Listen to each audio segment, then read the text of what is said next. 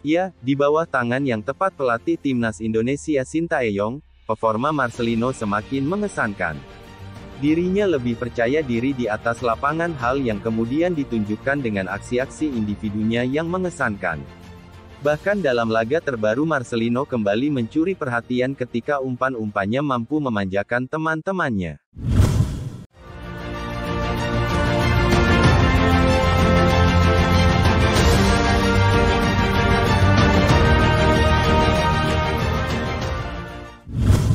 Di bawah kepemimpinan Sintayong, penampilan timnas Indonesia semakin mengesankan.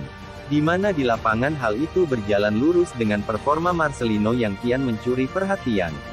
Penampilan Marcelino dari hari ke hari semakin meningkat di mana tercatat berkat gerakannya di lapangan yang menawan, timnas selalu dominan di lini tengah permainan.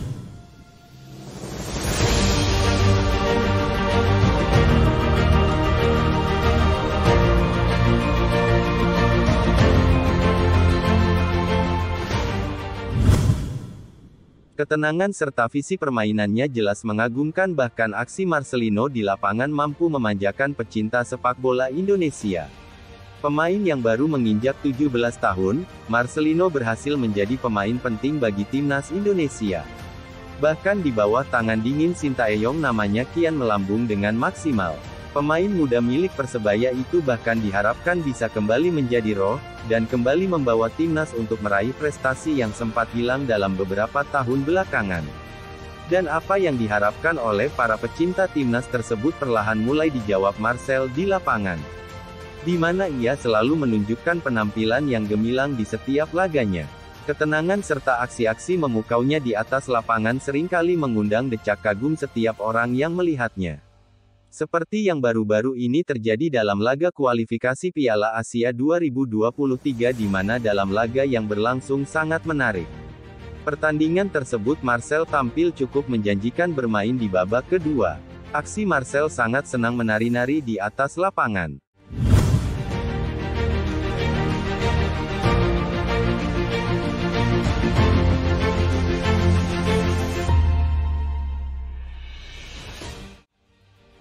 Hingga satu momen itu terjadi di mana finishing tenang Marcelino berhasil menutup kemenangan Indonesia atas Nepal 7-0.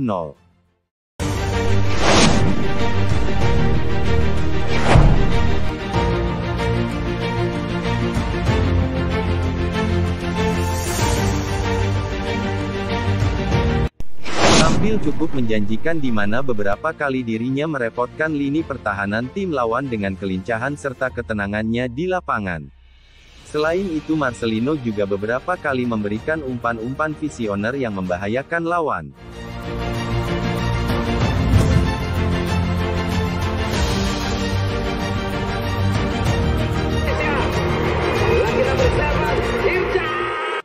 Sementara itu berkat penampilan gemilang yang ditunjukkan oleh Marcelino pada malam tadi, membuat Sintayong kembali memuji salah satu pemain terbaik tersebut. Menurutnya Marcelino merupakan pemain spesial meskipun dirinya masih sangat muda. Namun kemampuannya di atas lapangan sudah seperti seorang bintang besar. Pemain muda yang luar biasa dan pada usia 17 melakukan semuanya dengan baik itu spektakuler. Bagaimana dia terlihat dalam penguasaan bola dan bagaimana dia memandang permainan sangat menyenangkan bisa memiliki dia di timnas.